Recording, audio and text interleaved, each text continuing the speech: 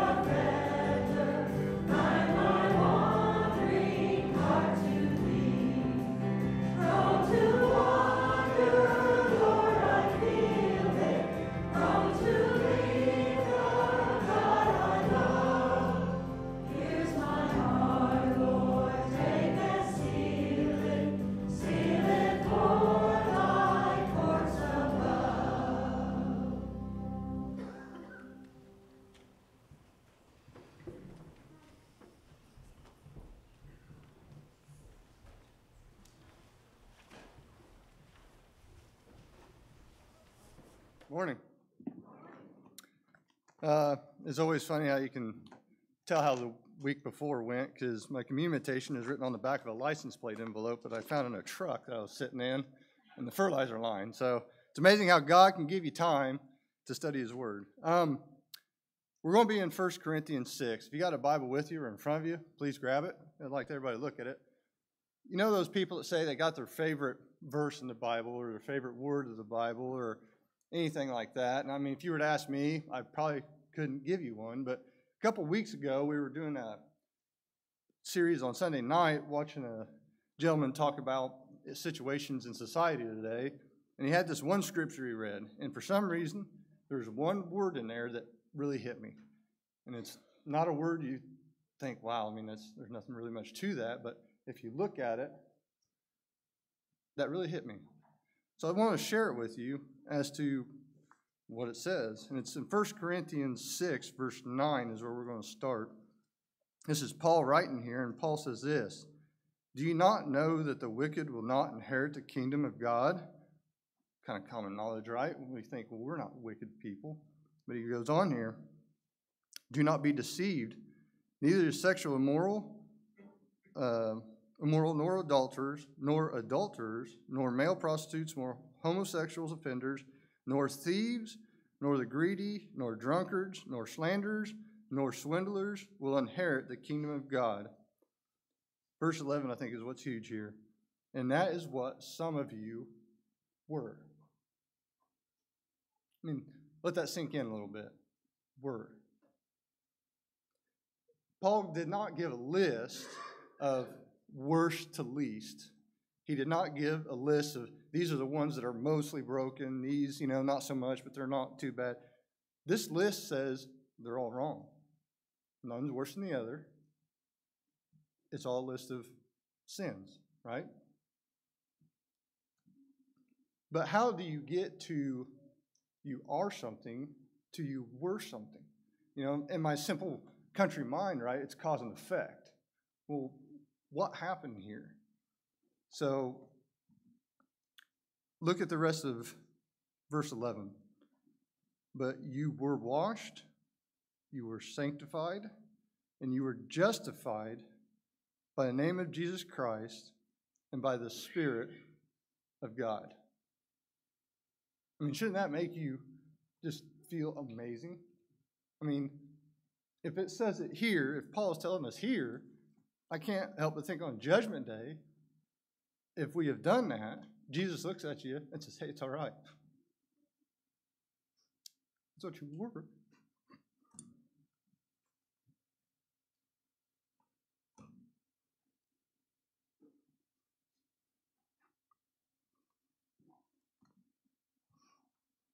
Told you I liked it.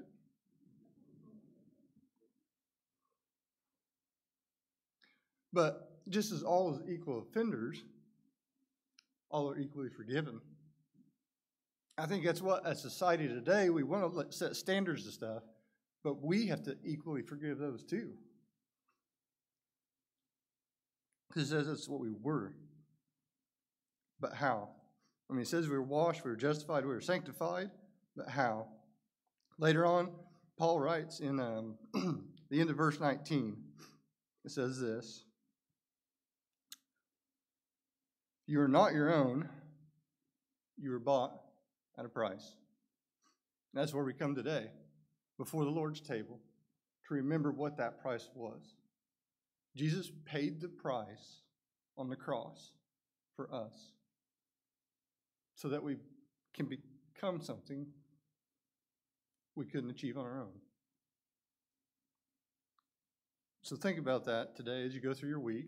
Maybe write a post it note somewhere that just says were to remember the grace that we have.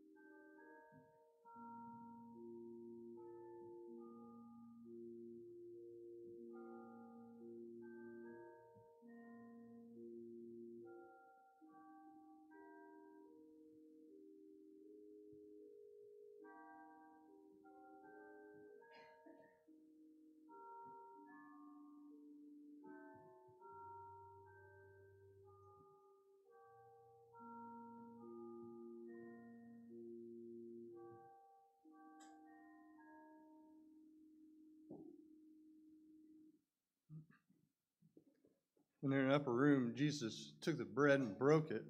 So this represents my body broken for you. Take and eat in remembrance of me. Then he took the cup and passed it and says, This represents my blood poured out for you. Take and drink.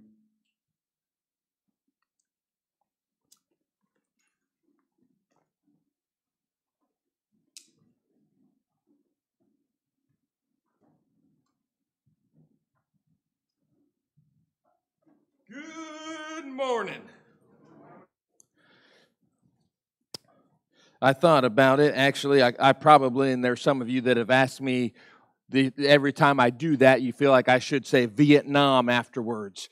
And um, I, I, almost did today, and the only reason because is, I actually thought this weekend um, I got a chance to go home, but and see my family and my dad to celebrate his 80th birthday with a whole bunch of uh, family and a surprise party for him. But as, as we went to celebrate and we had this time together, that also meant I had two very long car rides. So I had a lot of time to think. And um, as I was driving, one of the things I got to thinking about is a lot of times we come and we come to God with thanksgiving, being thankful. And God calls us to be thankful to Him, but also to give gratitude and appreciation to those who give to us also that we are to have a heart of gratitude for those who help us. And and one of the things that many of you have done this weekend and I appreciate your hearts there but I think as a church we need to do this also.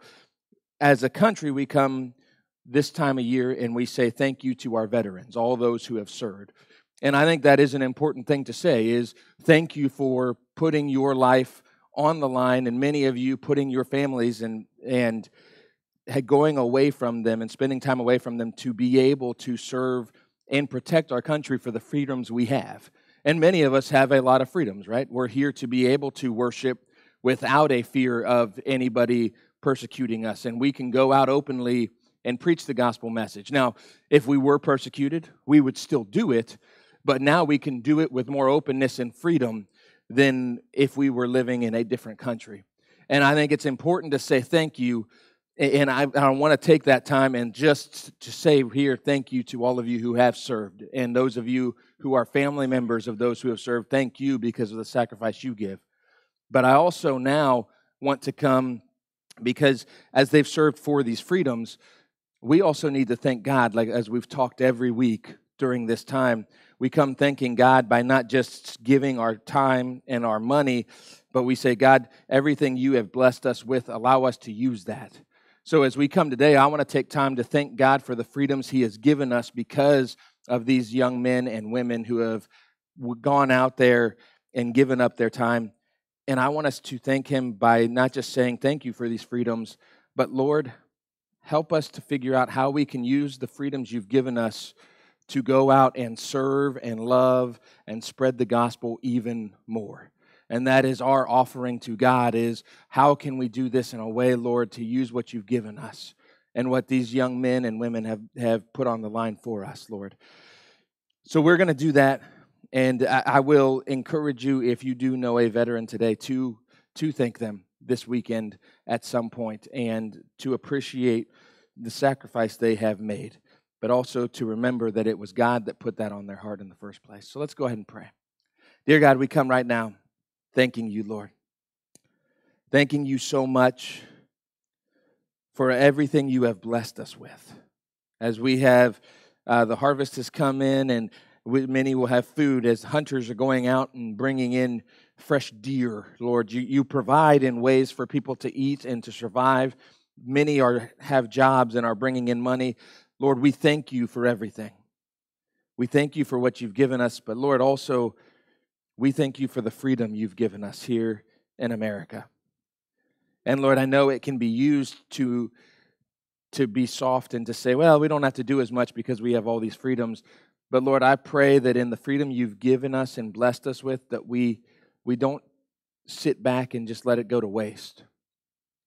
Lord, in our offering, when we come, the money we give, we give and say thank you and use the time we have, we come and we give, and our attention we give, and we say, Lord, use it. Teach us today in your word.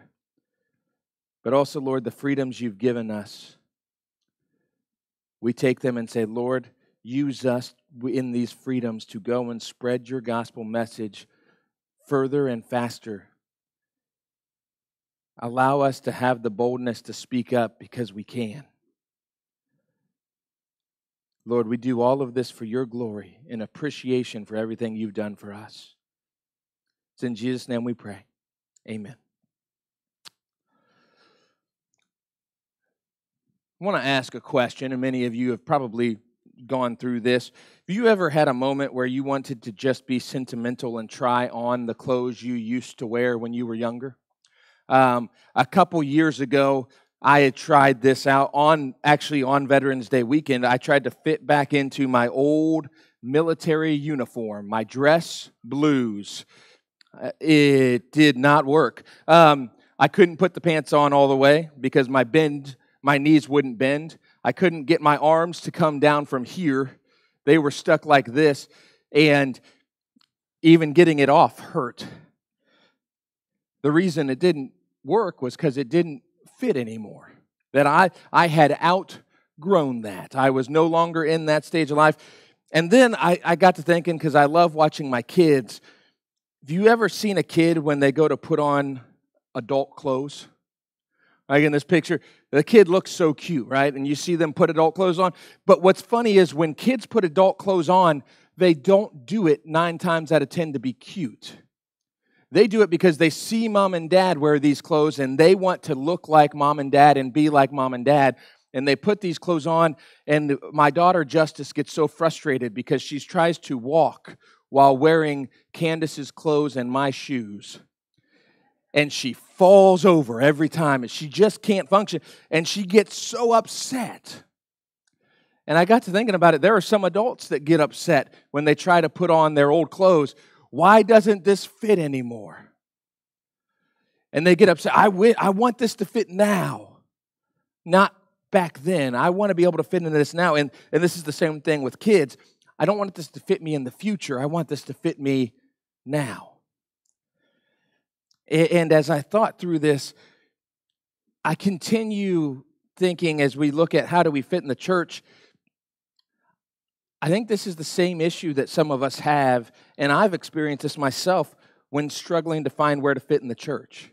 As we've talked about, we all have different sides to us that fitting in the church isn't just one piece that just fits in and that's all good that there are many different aspects of how god has made us and where we're at in life and i think sometimes we hit moments that there's a role in the church that we've always done or we always used to do, and we can't do it anymore. And we get upset. I, I don't fit there. Or we have moments where we have roles we see that others do. And we, we come to church eh, or we're younger and we say, I want to do that right now. That's something I want to do. What that person does, I want that role. I want to be that role in this church. But the problem is, a lot of times, those aren't the roles for us in that moment. And what happens when we don't fit these roles or we're not ready for these roles, we have three options, much like in a puzzle. And your options are you either take the puzzle piece and you try to cram it to make it fit. And then what happens when you try to cram a puzzle piece? Have you ever tried that? My kids have, and they've bent several of my puzzle pieces. The puzzle pieces get hurt, but the other thing is, it's not just the one puzzle piece, several of them do. When we try to cram our way into fitting in the church where we don't fit in that role, we can hurt us and hurt others.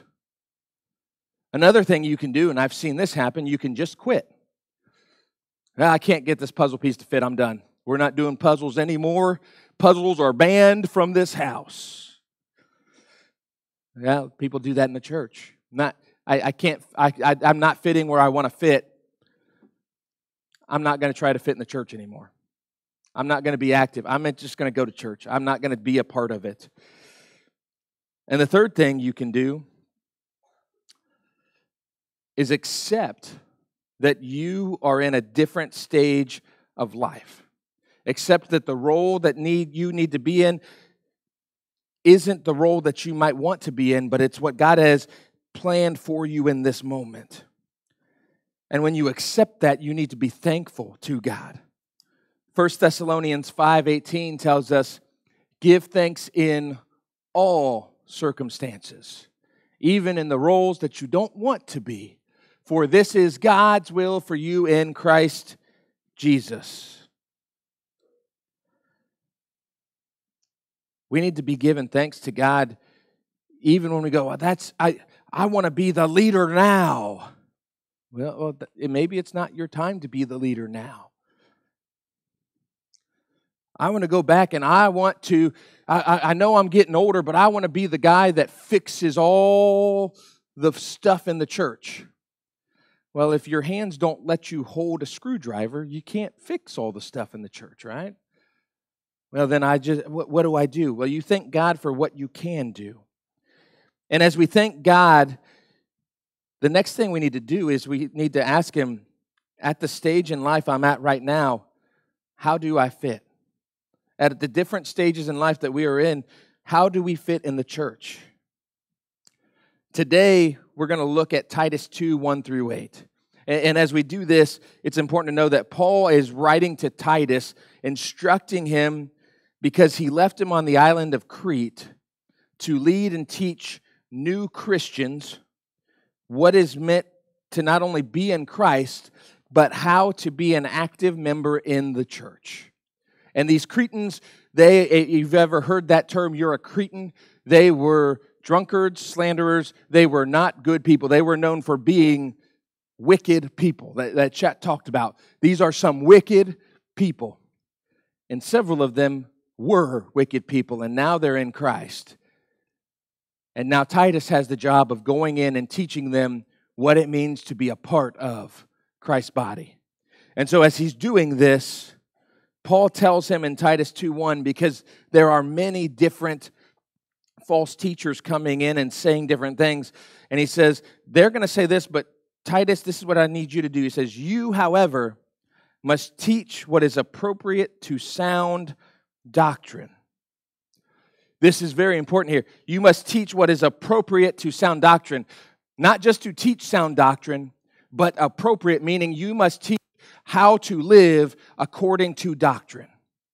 How your life is to match up with doctrine. And what we're going to see based on the gospel doctrine and based on who Jesus is and what he's done, what God's role is, and the purpose behind them for those who are older and younger, and for both older and younger together. So, to begin, we're going to be in looking at the older roles in Titus 2, verses 2 through 3a. He says this Teach the older men to be temperate, worthy of respect, self controlled, and sound in faith and love and endurance. Likewise, teach the older women to be reverent in the way they live not to be slanderers or addicted to much wine. He says the older Christian role is to continue living your faith. Paul starts by telling Titus to teach the older men and women, and it's important to know. Some would say, "Well, who is who is that?" Back then, during in society, it would have been sixty years or older.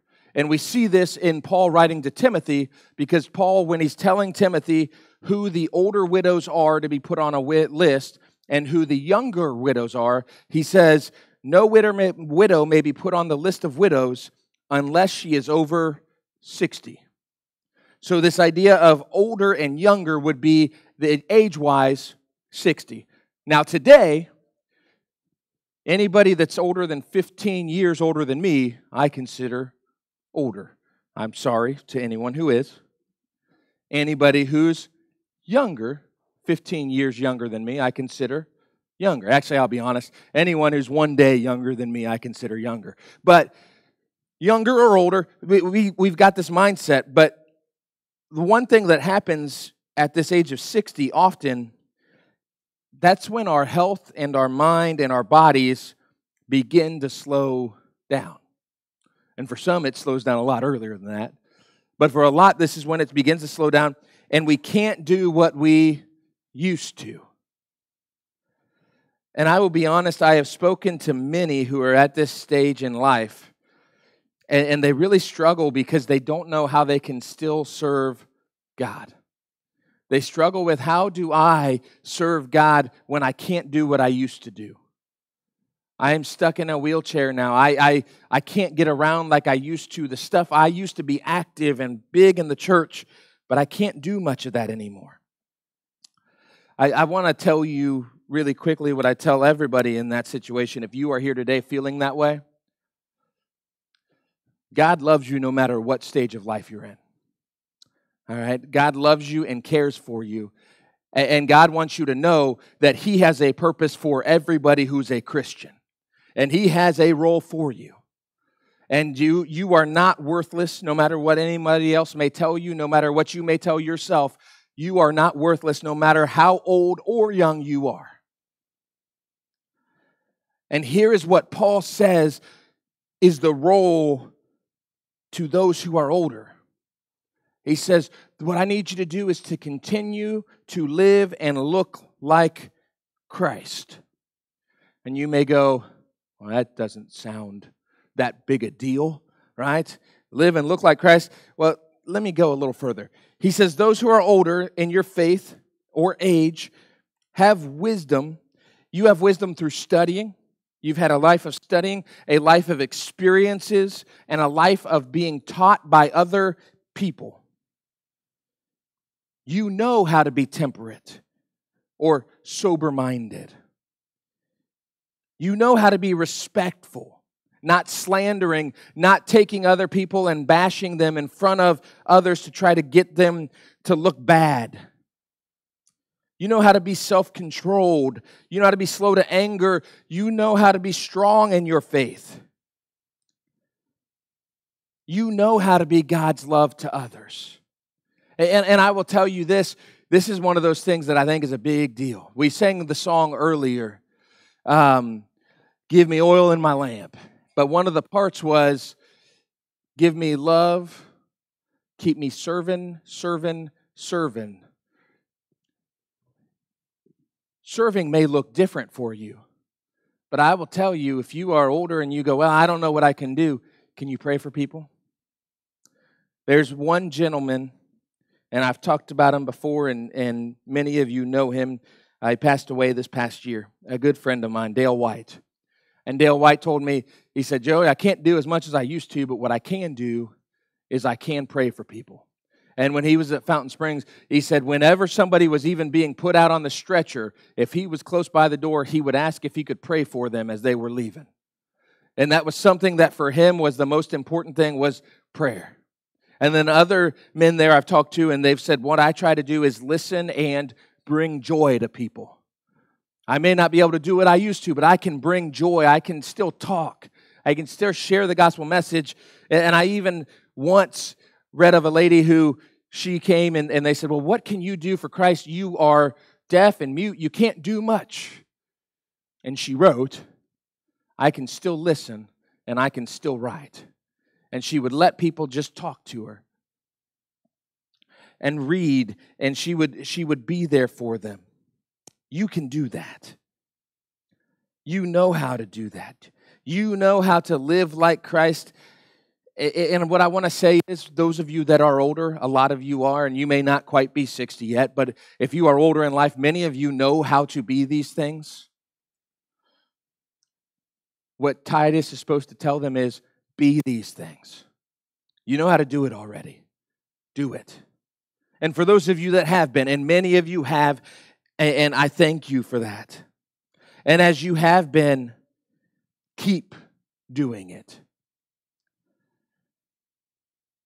Paul at the end of verse 2 says, continue in endurance.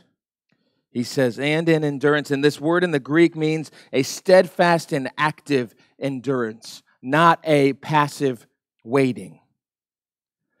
And it's very interesting in Philippians 3:14, Paul who is 62 at the time writes this.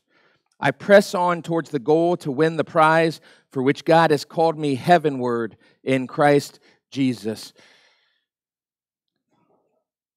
We need to keep pushing on, and I don't care how old we get. The reason we need to is because God's purpose for this is to protect the integrity of a godly life. In this list, Paul says to be worthy of respect, to be reverent. Many of you have lived in a reverent way that has pointed many to Christ. I, I, know that talking to you and talking to your kids, many of you have done that. And it's easy to say, I've lived a good life now. I'm tired. I'm going to be grouchy and do what I want. It's my time now. I'm older. I'm retired. I don't care what anybody else thinks or wants. This is all about me. And when you do this, can I tell you what you're doing? You're taking the godly life of integrity you have lived all the way up to this point and you're throwing it out the window. And what you are telling people when you do this, especially those who are younger that you have been modeling your life for, what you're telling them is this stuff isn't important to me. It's not important enough to keep living out my faith all the way up until my last breath. It's only important when you're young. When you get old, it's, it's all about you now. And all that integrity of everything you've lived for is gone. Proverbs 20 says, The righteous man walks in his integrity, his children are blessed after him. Older men and women in our church, many of you are being a model of Christ. You are called to be, I, I see it all the time. But this blessed children, it's also blessed personal, but when we talk about in the church, those of you who are older, those of us that are younger, we are your children. And if you live with integrity all the way up to the last day, we are blessed because of the way you're living. We need you to persevere. I need you to persevere. Keep pushing on so that both young and old together can, can, can fulfill our joint role in Titus 2 3b through 5. As we go back, it says, Not to be slanderers or addicted to much wine, but to teach what is good. Then they can urge younger women to love their husbands and children, to be self controlled and pure, to be busy at home, to be kind, and to be subject to their husbands, so that no one will malign the word of God. Old and young Christian role is to develop mentoring relationships. Paul says the reason the older women need to model Christ is so that they can teach the younger women how to be godly women. And many of you are sitting there going, okay, good, it's just a woman thing. The guys don't need to do this. We, we talked this morning in Sunday school about how God has given us His Word so that we no longer know in part, but we know in full. So you can't just take one verse and say, well, this is all it's talking about. That's all we got to focus on. Take the whole Bible. It's not just for women. Paul tells Timothy in 2 Timothy 2 2, and the things you have heard me say in the presence of my witnesses, or of many witnesses, entrust to reliable men who will also be qualified to teach others. This is for men and women to pass this on older men and women. We need the older men and women helping and encouraging the younger generations, not just showing them, but teaching them also how to show affection to their spouse and kids when it's hard. And you know what? It's funny, this list that's to be taught to the women, there's a side that's also to be taught to the men that we see him talk about in Second Timothy or First Timothy chapter 5 and Ephesians chapter 5 when he's talking in these different roles you need to learn how to be show affection to your spouse and kids when it's hard. That word love is phileo, not agape. So, this love of affection, reason why you need to show that is as a husband, I know I can be a butthead. But you older women need to teach my wife how to love me when I'm a butthead. My kids, great kids, awesome kids. They can be buttheads. I need to learn from a lot of you, and my wife needs to learn from a lot of you. How do we love our kids when they are misbehaving? When they are going through a stage in life where they are just terrors? You've been through it. Teach us, help us. And, the list continues to remain pure, whether married or not, to make a family a priority, to be kind and to fulfill God's role in family and church. But I want to say, we sit there and go, all right, old people, you need to be doing this. Ah, but it's not a one way street. While the older generation takes time to pass on wisdom, in order for this to work, the younger men and women need to humbly and respectfully help, accept help and advice. We need to be willing to say, we don't know it all. And you know what? I'm not just talking to the teenagers. If you're 50 years old, you don't know it all you're 30, if you're 40, you don't know it all. There are men and women in this church who have been through a lot more than you have and have advice and ways that they can help you. And as I say all this, I'm speaking strongly to myself. Step back and humble yourself and accept the wisdom and accept that they may be right, you may be wrong. But also, older people, you can learn from younger people too. It goes both ways. 1 Timothy 5 1 through 2, Paul describes this mentoring relationship in, the, in a way of more like a family. He says, Do not rebuke an older man harshly, but exhort him as if he were your father. Treat younger men as brothers, older women as mothers, and younger women as sisters with absolute purity. See, we're supposed to treat each other. If you're younger, treat the older men as your fathers and the older women as your mothers. You want to listen to them. You want to you want to hear what advice they have.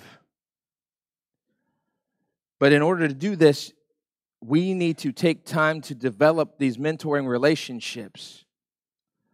As the older pass wisdom to teach the younger, the other side of that too, when you get look at this mother father relationship with their kids, it's also important to know that the younger, in turn, aren't just to listen and take it in, but they're also to help and support the older in the church. To be there and encourage them. Because, like I said, younger are going through stuff, but older people are going through stuff too. They need the younger to come along and say, Hey, remember, God is with you. Hey, you can't do this, but I can. Teach me how to do this so I can help you. Let me come alongside, and we come together, working together. In our reading plan this week, what you're going to see is four of the days we're going to be reading through the book of Ruth. And the reason we're going to do that is because this relationship between Ruth and Naomi, and even Boaz is included in this. This relationship is a great mentoring relationship because Ruth comes in and helps her mother in law when she doesn't have to, but she comes in and helps and respectfully is willing to listen, not come in and say, No, you got it all wrong, Naomi. You got to do it my way. I'll do it how I think it should be done. She listens to Naomi as Naomi teaches and instructs Ruth on how to gather food and how different matters of the heart. But the other thing that Ruth does is Ruth also goes and helps Naomi and takes everything she learns so that she can help Naomi. Even when Ruth finally gets married, she works to how she can help take care of Naomi, even though it's not a responsibility anymore. That's what it should look like in the church. And why do we do this? To protect the integrity of God's word. And you may be sitting there going, wait, how does this affect the Bible? What do you, what do you mean the integrity of God's word? Paul at the end of verse 5 said that no one will malign or also translated as blaspheme the word of God. I got to thinking about this often when someone who is young and inexperienced does something without being taught, what happens? If you just give them, tell them go do a job, sometimes they'll get it right. But a lot of times they mess up, they do something wrong. And if no one ever comes along and says, hey, you're doing that wrong, fix it, they will continue to do it wrong, thinking they're doing it right. Now, when it comes along and here is a young person in the church trying to follow the Bible and trying to follow Christ, and they do it all on their own, and no one ever comes along and says, This is how you live like this. When Jesus says this, this is what this means. This is how you apply what Jesus says. If no one ever comes along or no one says, hey, what you're doing, that's not matching up with the Bible, what they're going to think is the way I'm doing it is right. And you know what? That's happened way too often in our churches. Because there are people that step up, the younger people, and they say, This is how we think we should do it. And the older people say, It ain't worth our time to argue with you. We're, we're just do whatever you want. And they step back. And now we have churches who are going against what the Bible says, thinking they're doing the right thing because no one ever stepped up and said, Hey, that's not in the Bible. Because no one ever taught them and what does that do? It blasphemes the Bible. We need those who are older and wiser to come along and teach those who are younger so that we don't go against the Bible, so that we know how to apply what the Bible has to say. Not just because, well, this is what I know, I've lived this out. I've seen when I live this way, this is how it, it, has been a blessing. This is how God has worked. And when I didn't do what this said, this is how it hurt. This is the, the these are conversations that need to be happening. And as a church, we need to be developing mentoring relationships. As the older teach and encourage those of us who are younger, we need to humbly and respectfully soak this up so we can do our role in Titus 2 6 through 8 says this similarly, encourage the young men to be self controlled. And everything, set them an example by doing what is good in your teaching. Show integrity, seriousness, and soundness of speech that cannot be condemned, so that those who oppose you may be ashamed because they have nothing bad to say about us. Younger Christians, our role is to seriously apply our training. Paul tells the young men, learn how to live godly lives. That word similarly means everything that he's taught to the women, this, the younger women, this is how you're supposed to be. All the older men, this is how you're supposed to live. Do all these things. But then he brings up, and with what you learn, be self controlled. Too often, when we are younger, our passions and emotions can come over us and lead us away from what we are being taught. Proverbs 25 28 puts it this way like a city's whose walls are broken through is a person who lacks self control. And I've seen it time and time again of young men and women who let their emotions, and men may go, oh, we are not emotional. But yeah, you got anger. if you let that anger out and let your anger rule how you talk and how you act, you're not being self controlled. If you let your emotions, if I'm sad, so I'm going to say this and do this, and I don't care if it hurts somebody, you're not letting your emotions be controlled. We're all called to be in control of our emotions and our thoughts and what we say and do. And if we don't, then it's like a wall, everything gets through. Those of us who are younger need to take seriously what we're being taught. And I've learned a lot of times when you're not self controlled, it's because you hear what's being said to you and you go, Yeah, I'll apply that one day. Yeah, okay, I, I'm listening, but I, I, I will sit here and kindly listen to what you have to say, but I'm not taking it serious. And what happens when that happens? When it comes time and you need to be self controlled, you go, wait, what did that person say? What did Jim McMillan tell me? I, he told me something. What was it? Well, I didn't take it seriously when he told me. I didn't pay attention to what was being taught to me. We need to do this so that we can begin to apply it to our lives, being an example to the world by living like Christ. And when we share the gospel message, we need to check our motives. Make sure that they are pure and with confidence and seriousness. I, I, love that. When you go to talk about the gospel or even talking to other people, being serious. If you go and approach and go, well, yeah, I'm, I'm kind of a Christian. Yeah, I, I go to church. Yeah, it's no big deal. And you're just goofing around when you're talking to someone about your faith, they're not going to take you seriously. He says, Be serious even when you talk about your faith to others, when you're teaching others, be serious.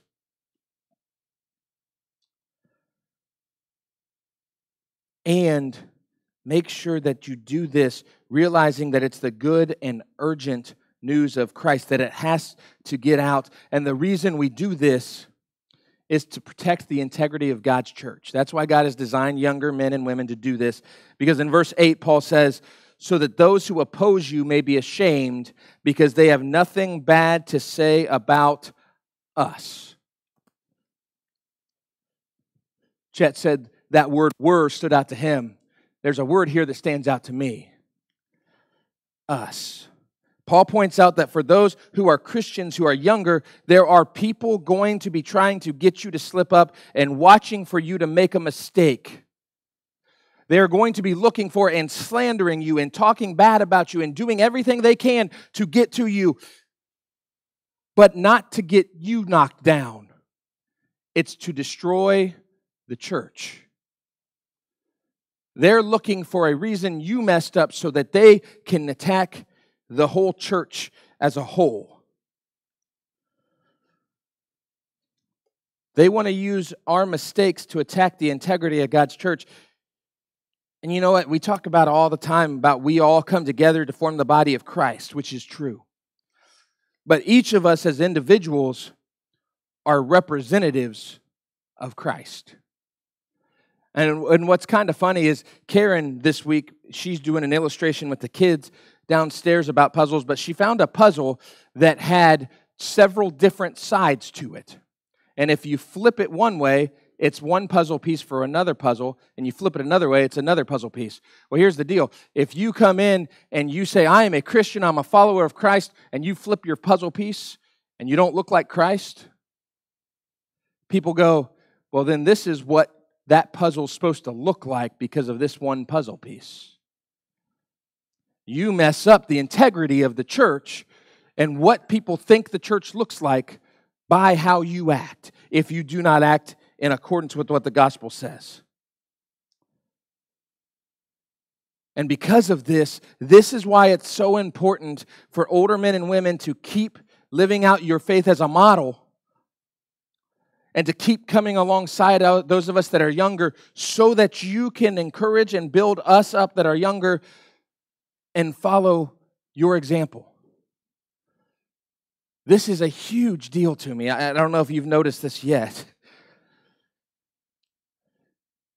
But too often in churches, and I talked about this with our kids, with our teenagers a couple of weeks ago, there's a divide between younger and older. And it's not just teens and adults, there's a divide between older people in the church and younger people in the church. And I've heard people say, well, I don't fit in that church because that's an old people church and I'm too young for that church. Or that's a young people church and I'm too old for those people. That is not what God designed the church to be. God designed the church to be everybody together, all working, those who are older helping those who are younger. All looking completely like Christ and putting together another puzzle piece into the church and making us all connect more. I'll fix it with tape later.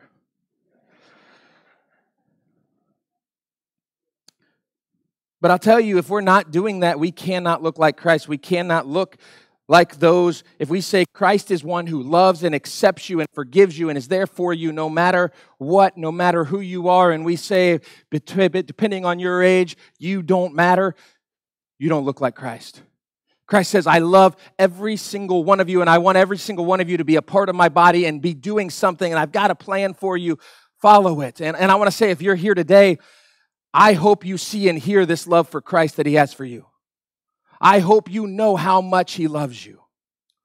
No matter where you're at in life, whether you're a teenager or you could be 99 years old, He loves you if you're 100 too, but I don't care where you're at in that stage. He loves you and wants to give you this gift of forgiveness. He wants His grace to come over you, to have forgiveness and His Spirit in you. But you've got to accept it. And once you do, then you get to be a part of this family. And you get to fit into that role He's called you into. And if you are older today and you are here, I want to invite you to something. I want to invite you to take time and be a model. I want you to think about how am I being Christ today? Not how can I be? How am I and how am I not? And let me start. But I also want you to take time and during this song and our prayer time, take time and ask God, God, who do I need to be reaching out to? Who that is younger in this church can I come alongside and encourage? Maybe a teenager, maybe a 20 something, a 30 something, a 40 something, maybe a 50 something. Maybe you're 90 and see a 60 year old and go, they need my help.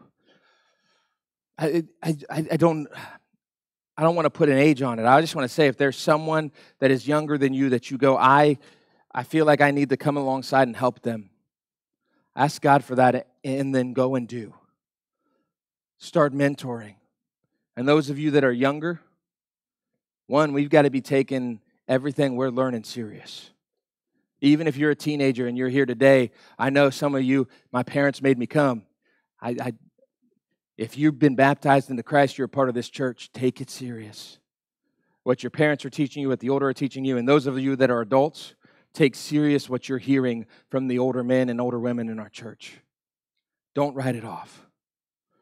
But also, what I want to encourage you is ask God, please help me to humble myself and be willing when someone older comes along to be open to listening. But also, Lord, if there's someone that you have put on my heart, or I know that they're going through, or they've gone through what I'm going through, Lord, put it on my heart and help me to go and ask for their advice, to go and seek out that wisdom.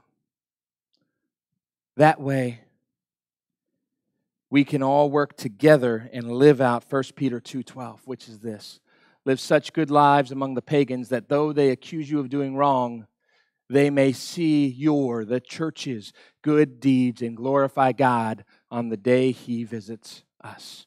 That is our goal. But we all need to work together to get there. Let's pray. Dear God, I come right now thanking you, Lord. Thanking you for your love. Thanking you for your grace and your forgiveness. Lord, for many of us here who were sinners, you have brought us into righteousness. But Lord, as you have done that, you have called us to work together, younger and older. And Lord, I thank you so much for the older men and women in our church. Those who have persevered so far, and I pray, Lord, you continue to help them persevere. Give them the strength and the courage to continue to live out for you.